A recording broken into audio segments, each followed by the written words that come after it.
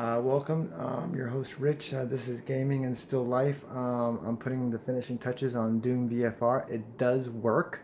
Um, maybe um, my camera didn't work. I ran out of juice in the last 20 minutes, but that's uh, only the camera that was filming me. Uh, the most important part is the filming of the actual um, gameplay, which I did catch.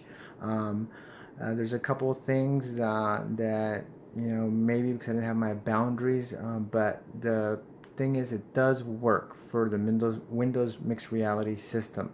So um, I'll be covering more in depth. Um, so watch out for those videos, and thank you for um, my, watching my channel. And I hope you have, have a good night because I'm going to be late editing. So thank you.